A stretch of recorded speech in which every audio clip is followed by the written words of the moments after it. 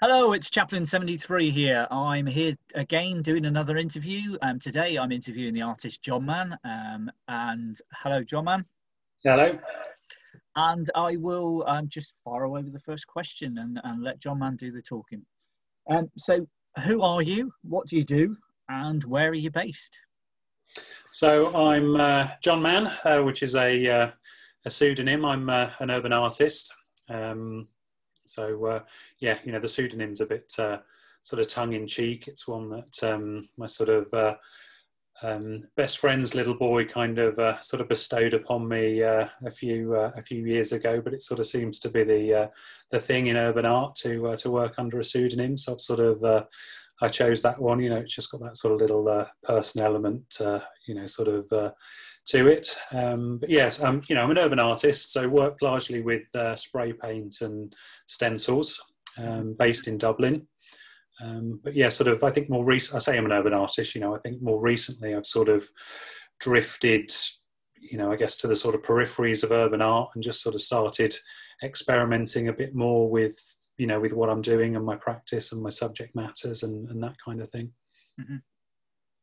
And where are you based? Um, sorry, I'm based in Dublin, in Ireland. Mm-hmm. Um, so uh, yeah, I'm uh, English originally, obviously from as you probably uh, tell from the uh, the accent. But yeah, I've been in Ireland for uh, about six years. Um, I met uh, my wife a few years ago, who's Irish, and moved over here, and yeah, sort of happily happily settled over here now. Brilliant, brilliant. So, which artists would you say influenced you or inspired you um, when you first started creating your art? Um, I think obviously working with spray paint and stencils, I'd be uh, lying if I didn't sort of say that uh, Banksy was a uh, you know a huge influence in uh, um, you know in in what I do and and where I am. Um, it was sort of uh, I think Banksy that sort of first inspired me to uh, you know grab some cardboard and a you know a, a, craft knife and some spray paint and just sort of see what happened. You know, so. Um, so yeah, Banksy was kind of a, a big influence in that. Um, and then um, Moss Shaw of uh, Arts Anonymous was a uh, you know a big sort of driving factor in uh, my journey as well. Um, you know, he don't think he's sort of painting so much these days, but uh, he was sort of painting at the time. Had an art gallery with his uh, his wife, uh, or sorry, his, his long term partner Kate Roberts, um, and uh, yeah, I sort of you know went to meet those guys, and you know Moss was like, "Oh, show me some of your work," and he put some in the gallery, and just you know just kind of really gave me that confidence, I suppose, in what I was doing. Um, you know, had some sort of uh, some value to it. Um, you know, kind of I you know I think just that. Uh, um, that alone just really spurred me on to uh, you know sort of keep doing what I was doing. Um, um, and that was yeah you know a good good few years ago now. That would have been sort of you know probably eight eight years ago. So uh, mm-hmm. yeah you know it's, it's, just really kind of I guess spurred me on in my uh, my artistic journey. Yeah. Yeah, I mean, say what you like about Banksy. Um, people love him or people hate him, but I think he has inspired a lot of people to be more creative, you know. And, and yeah, yeah, no, that's it. yeah, done, have a go, yeah. you know. Yeah. yeah, yeah, made it more accessible for people. Yeah, and I think that's the thing about spray paints. It's it is quite accessible, isn't it? It's, It is, yeah, yeah, yeah, and you know, it's it's great fun as well. And I think, uh, you know, and as much as I kind of say I've been inspired by Banksy, I do sort of try and make sure that what I do is different to to what he's doing. You know, I've always mm-hmm. sort of just tried, I suppose, to find my own little niche, um, you know, within the sort of uh, urban art world, you know, whether that kind of be painting on train tickets, which is perhaps what I'm best known for, you know, to sort of doing slightly more abstract things. Um, and I'm always kind of, you know, experimenting with what I'm doing and I guess sort of trying to settle into to what I'm doing. Um, yeah, I saw, I saw a big piece of yours uh, on a wall, um, which was train tickets, which you, which you you know made look like it was on train tickets, which I thought. Right. Yeah. Yeah. Yeah. Um, that, that really piece like in, in, Cheltenham. Yeah. Um, yeah. Yeah. Yeah. Um, yeah. So that's kind of yeah one thing I've been doing sort of for uh, um, a number of years is sort of painting on. Uh, you know, on train tickets with the sort of monochrome sort of. You can see an example behind yeah. me, which is the, yeah. the Trainspotting movie poster. Um, but yeah, now I'm sort of uh, broadening a little bit into sort of playing around on canvas with color and sort of abstracts and splatters and doing a bit of gold, sort of doing a lot of um, sort of landscapes, country scenes with mm-hmm. sort of bales and using gold paint for the bales and uh, yeah so having sort of you know a lot of fun and uh, you know and success with those as well which is nice you know that sort of they prove popular um, so yeah it's always always nice when you kind of really enjoy doing something and people uh, yeah, yeah. engage with it um, so yeah I think that's what art should be about, isn't it? About you enjoying yourself, and if people are willing to pay you money for it, then you know that that's a bonus. But you've got to, yeah, yeah, enjoy it, really. Yeah, yeah. If it becomes a chore, it's um, you know, it's it's not, it's not ideal.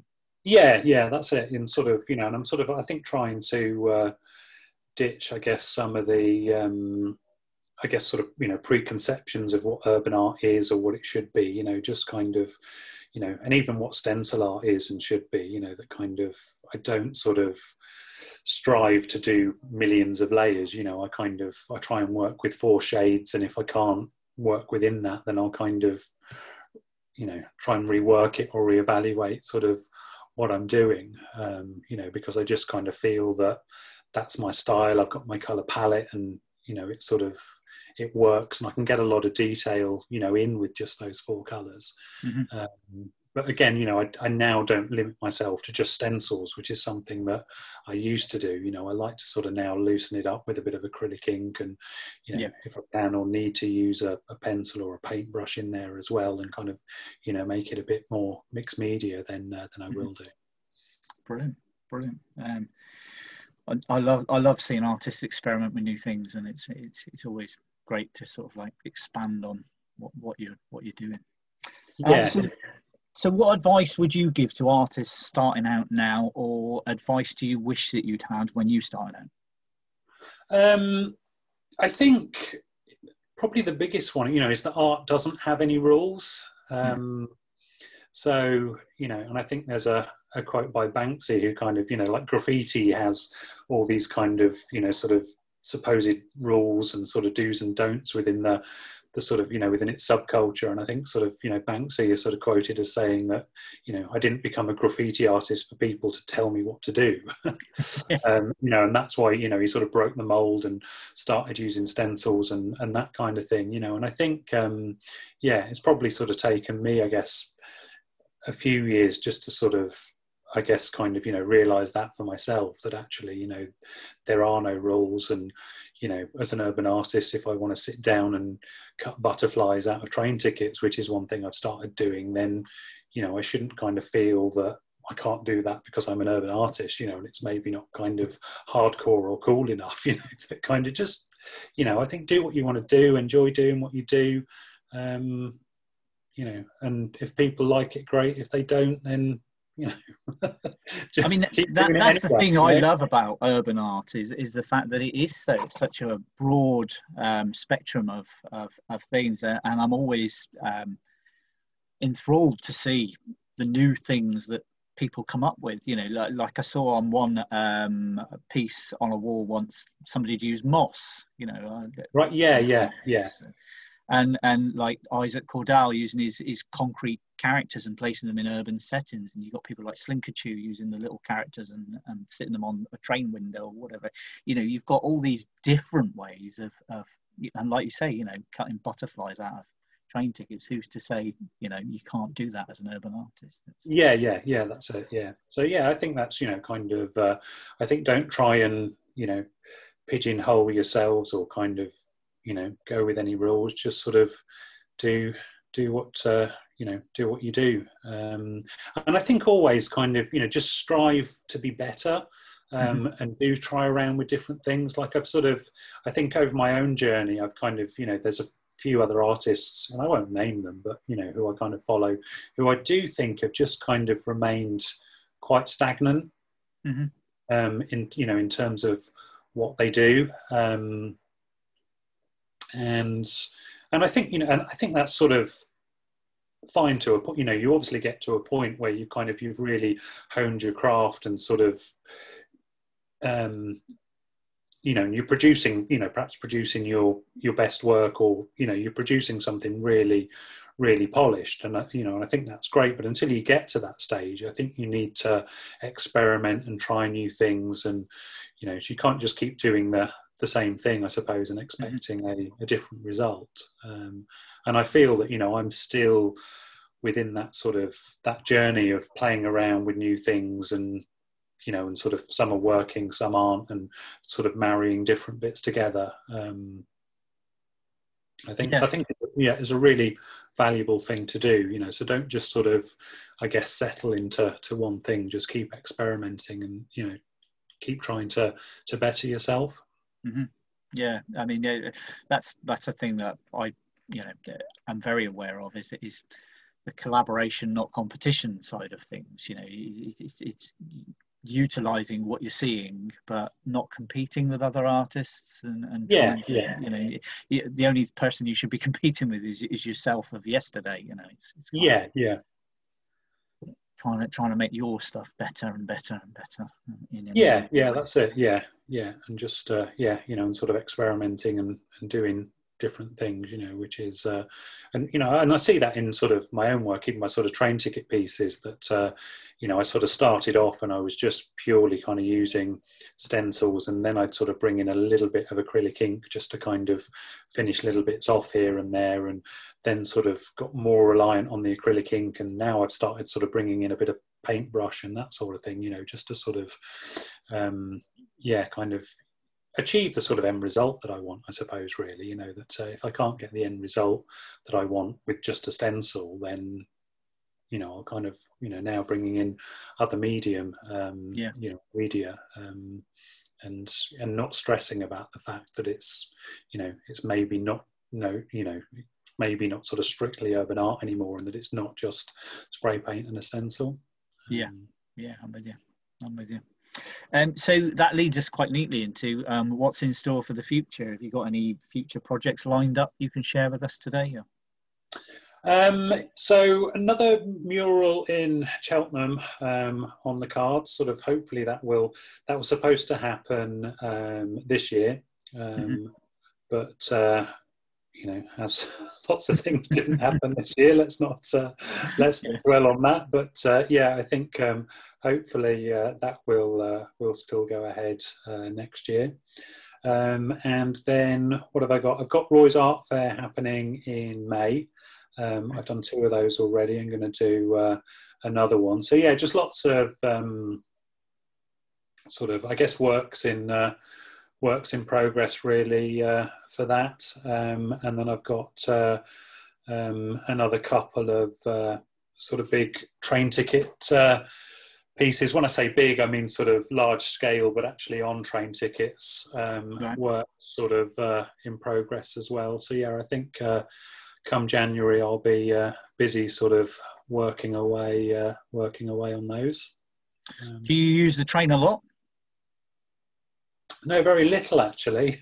Where'd you get all your uh, train tickets from then? Um, got lots of sources. I mean, I'm kind of uh, I'm lucky that uh, you know a lot of people now will sort of save them for me and you know sort of send them on. Um, I've had occasions where I've gone to the ticket barriers in the train stations and just kind of showed uh, the staff on the ticket barriers kind of some of my work and what I do and you know, would they kind of kindly, um, you know, the tickets get sucked away, don't they, into the yeah. barrier your journey, and just say, can you, can you empty the uh, the barrier out into my bag, please? And they've, uh, you know, kindly sort of done that for me. Oh, um, yeah, you, oddly, you get um, people selling train tickets on eBay.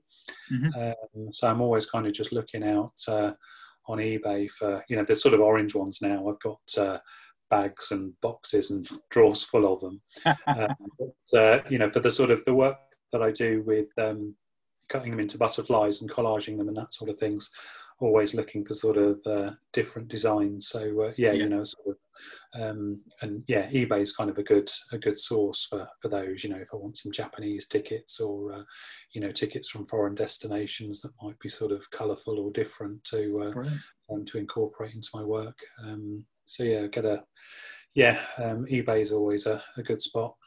I love the idea of the recycling and uh, and you know the, the, the fact that you're taking these train tickets which would have been discarded and you know. Yeah, yeah, that's it. And uh, because they're not actually recyclable with the the strip inside them, they can't be recycled. So uh, they would uh, they would all end up in uh, in landfill. Um, oh wow! Um, yeah, and I think it's sort of um, gives them a bit of you know a bit of interest. Um, yeah. And I think you know like the, certainly the the orange train ticket I think is an iconic piece of uh, British design um, and one that uh, you know will very shortly be uh, consigned to the history books. You know, I think as as tickets move digital, um, mm-hmm. and rightly so. You know that it's then something that uh, you know in a, in a few years or you know certainly in a, a generation or so will be uh, you know sort of something you know sort of preserving them and giving them a bit of interest. Um, you know, the work that I do it has that then that sort of dual aspect to it um, in that because uh, I use transparent paints,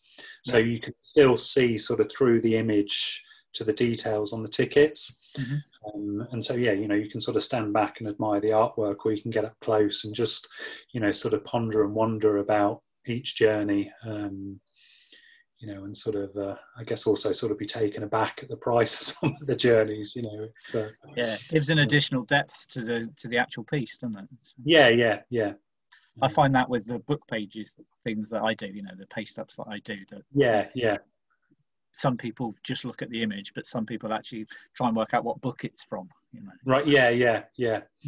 Yeah. Yeah. No, so, Which, yeah. You know, it does add something to the um, the, the, the art piece. Yeah. Yeah. Definitely. Well, thank you so much for sharing all that with us today. Um, it's been really informative and it's been really great talking to you. Uh, I wish you all the best with your, your next piece in Cheltenham and your, your large piece on your train tickets. Um, look you. forward to seeing them on your social media. Um, yeah. Uh, it, and thank you very much for spending the time today and um, doing the interview with me. No, pleasure. Thank you. That's all for today, folks. Um, I, if you like what you've heard today, please press subscribe below and subscribe to my channel. Um, I will be interviewing a lot more artists over the forthcoming weeks and months. And um, that's it for today. Thank you very much for listening.